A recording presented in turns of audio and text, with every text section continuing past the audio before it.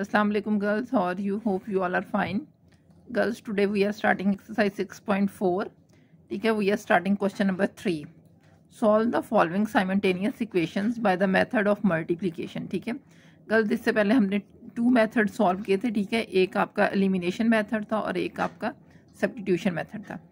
अब आपके पास ये थर्ड मैथड है मल्टीप्लीकेशन मैथड ठीक है? मल्टीप्लीकेशन मैथड के लिए फार्मूला है, हम फार्मूला अगर आप याद कर लेंगे तो आप इसको इजीली सॉल्व कर सकेंगे। जिस तरह से इसमें क्वेश्चन नंबर वन आपके पास है two x plus y minus one equals to zero क्योंकि आपके पास क्वेश्चन नंबर वन ये two x plus y equals to one और x plus y equals to three ठीक है?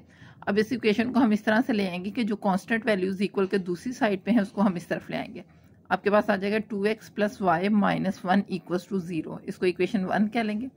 सेकेंड इक्वेशन में आपके पास आ जाएगा x plus y minus three equals to zero इसको आप इक्वेशन नंबर टू कह लेंगे ठीक है?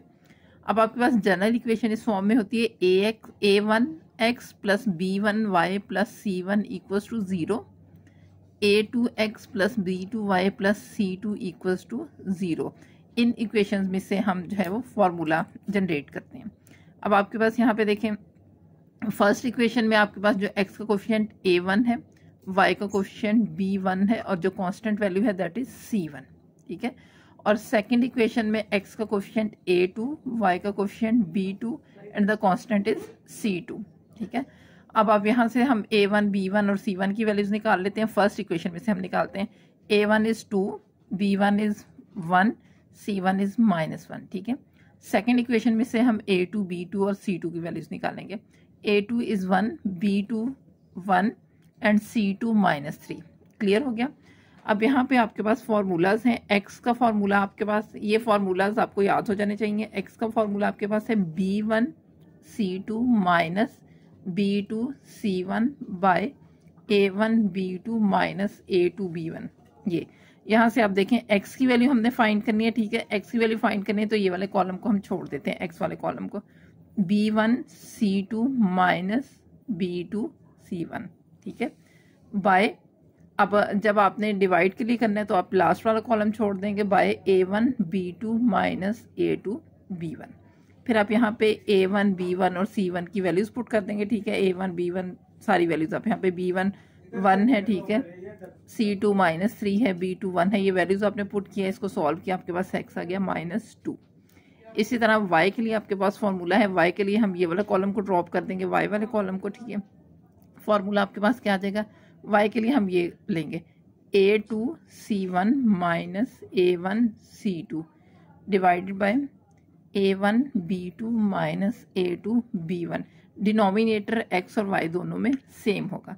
फिर यहाँ पे a two c one a one c two a one b two a two b one की वैल्यूज़ हमने पुट करके इसको सॉल्व किया आपके पास वाई की वैल्यू होगी फाइव तो x equals to minus two and y equals to five आ गया। क्लियर हो गया? इसके आपके पास सब पार्ट्स इसी तरह से हो जाएँगे। एक मैं आपको और बता देती हूँ। जिस तरह से हम यहाँ पे कर लेते हैं इसका part number two part number two आपके पास है two x plus y equals to three three x minus two y equals to one ठीक है? इसके लिए फिर आप उसी तरह से कर लेंगे कि आपने कर लिया इसमें आपने two x plus y three equation के उस तरफ़ लेके तो माइनस थ्री हो गया two x plus y minus three equals to zero इसी तरह सेकंड इक्वेशन आपके पास आ जाएगी three x minus two y minus one equal to zero this is equation two अब हम यहाँ से हमें पता है कि इक्वेशन नंबर वन में आपके पास ए वन है। A one is two b one is one c one is minus three इसी तरह से इक्वेशन नंबर टू में ए टू बी टू है। A two is three b two is minus two c two is minus one अब आप x का formula put कर लेंगे, x is equal to b one c two minus b two c one by a one b two minus a two b one अब यहाँ से आप values इसमें पुट कर लेंगे, आपके पास x इक्वल्स टू वन आ जाएगा। इसी तरह से y है। y आपके पास है a two c one minus a one c two by a one b two minus a two b one जब आपने यहाँ पे y की वैल्यूज़ पुट की, सारी तो y आपके पास आ गया प्लस वन ठीक है एक्स इक्वस टू वन और वाई इक्वस टू वन ये आपके पास आ गई। अभी आपके फोर के फोर पार्ट्स में आपके पास यही फार्मूलाज यूज़ होंगे, ठीक है? ये फार्मूला आपको फिंगर टिप्स से आ जाना चाहिए।